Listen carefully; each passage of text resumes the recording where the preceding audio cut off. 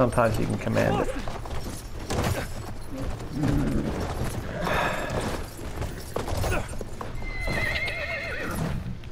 Oh, but you won't go over this edge, huh? Are you freaking kidding me?